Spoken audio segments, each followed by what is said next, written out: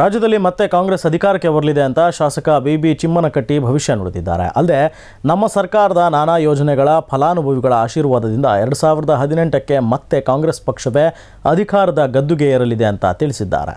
ಬಾಗಲಕೋಟೆ ಜಿಲ್ಲೆಯ ಬಾದಾಮಿ ನಗರದಲ್ಲಿ ಆರು ಕೋಟಿ ಎಂಬತ್ತು ಲಕ್ಷ ರೂಪಾಯಿಗಳ ಅನುದಾನದ ಅಡಿ ನಗರೋತ್ಥಾನ ಹಂತ ಮೂರರ ಅಭಿವೃದ್ಧಿ ಕಾಮಗಾರಿಗಳಿಗೆ ಚಾಲನೆ ನೀಡುವ ಕಾರ್ಯಕ್ರಮವನ್ನು ಹಮ್ಮಿಕೊಳ್ಳಲಾಗಿತ್ತು.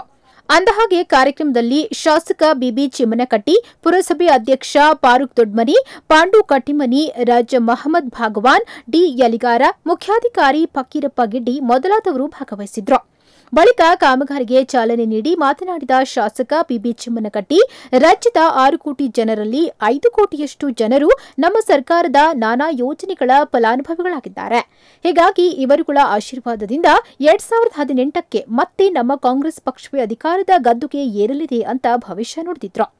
ಇನ್ನು ಐದು ವರ್ಷ ಅಧಿಕಾರದ ಅವಧಿಯಲ್ಲಿ ನಮ್ಮ ಕಾಂಗ್ರೆಸ್ ಸರ್ಕಾರದ ಸಾಧನೆ ಮತ್ತು ಜನಪರ ಯೋಜನೆಗಳು ಮುಂಬರುವ ವಿಧಾನಸಭಾ ಚುನಾವಣೆಯಲ್ಲಿ ನಮಗೆ ಶ್ರೀರಕ್ಷೆಯಾಗಲಿವೆ ನಾನು ನೀರಾವರಿ ಸಚಿವ ಆಗಿದ್ದಾಗ ಮೂವತ್ತು ಕೋಟಿ ಅನುದಾನದಲ್ಲಿ ಕಾಲುವೆಗಳನ್ನು ನಿರ್ಮಾಣ ಮಾಡಿ ಬಾದಾಮಿ ತಾಲೂಕಿನ ರೈತರ ಭೂಮಿಗೆ ನೀರಾವರಿ ಸೌಲಭ್ಯ ಕಲ್ಪಿಸಿದ್ದೇನೆ ಎಂದು ತಿಳಿಸಿದ್ರು.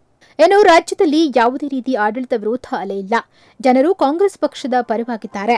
ಇದರಲ್ಲಿ ಎರಡ್ ಸಾವಿರದ ಹದಿನೆಂಟಕ್ಕೆ ಮತ್ತೆ ಸಿದ್ದರಾಮಯ್ಯ ಸಿಎಂ ಆಗೋದು ಶತಸಿದ್ಧ ಎಂದು ವಿಶ್ವಾಸ ವ್ಯಕ್ತಪಡಿಸಿದ್ರು. ಮೋಸ ಪಟ್ಟಣದ ಅಭಿವೃದ್ಧಿ ಮಾಡಿ ನಮ್ಮ ಲೈನಿಂಗ್ ಮೂಲಕ